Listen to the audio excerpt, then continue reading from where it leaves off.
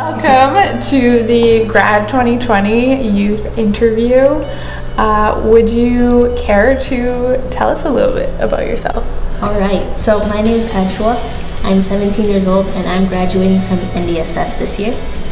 And yeah, I really enjoy reading and writing and doing track and field and basketball, which I did throughout my high school career. Hi, my name is Tia. I graduated from Aspengrove School and I'm really into music. I've uh, done lots of uh, musical activities in my life. I really enjoy classical piano, and uh, in school I joined um, a band playing clarinet and also um, bass guitar. And I've been at this church for a very long time, ever since I was born. We've been here, and um, I really enjoyed growing up in the youth here, uh, growing up with uh, joining the worship team, and uh, yeah, I'm really happy to be here. I'm happy to be one of the FBC grads.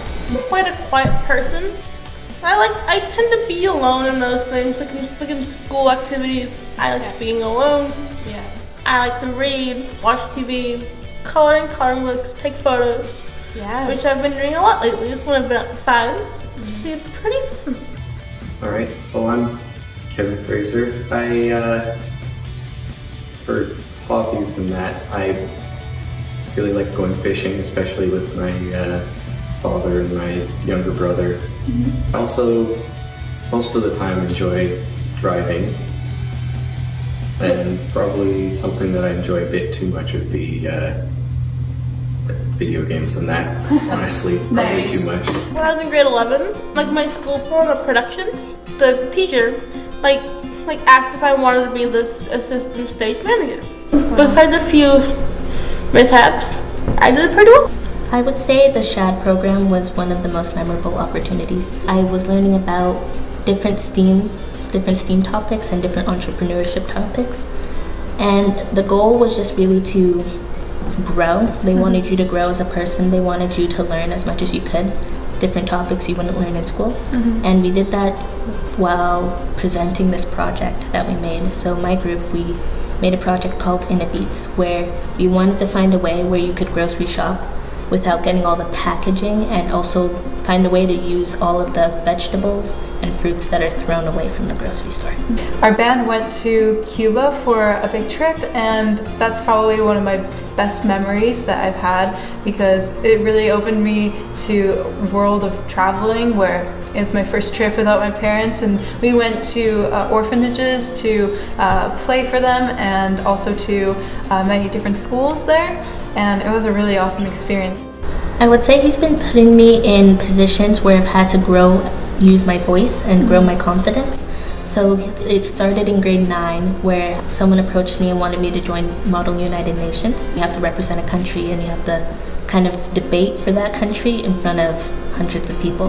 And so that was kind of the first step to growing my voice. And since then, I've been doing different entrepreneurship programs and leadership programs that I feel he put in my path mm-hmm. so that I would become more confident. Mm-hmm. So, Tia, if you could go back to yourself four years ago, what's one piece of advice that you would give yourself? I would tell myself just to have time for studying and also have say yes to all the times when people ask to hang out and make memories because I think that's what's most I guess that's what's most memorable. I guess that's also advice for my future self just to not take university too too seriously and to still find time for um, hanging out and making great connections.